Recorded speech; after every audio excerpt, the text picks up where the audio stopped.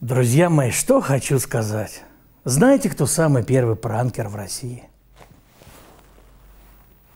Андрей Владимирович Капустин, то бишь я. Еще в 1990 году, а я живу так долго, поверьте мне, волосы, видите, седые,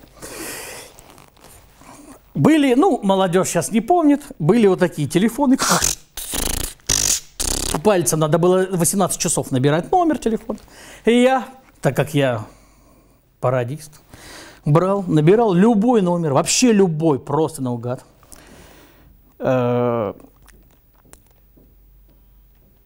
и когда уже после того, как э, значит, Михаила Сергеевича сняли и стал президентом Ельцин, это уже 91 это 92 получается, да, э, я вот так делал. Здравствуй, дорогой россиянин! Что ты там сидишь? Выходи на улицу голосовать! Реакции было. Кто-то ржал, кто-то пугался, кто-то сразу трубку бросал, кто-то начал со мной разговаривать. Ой, ой, вы что, вы что там прикалываетесь? А, что там, что там? Это еще до того, как Галкин выступал э, по телевидению. Ну, было весело.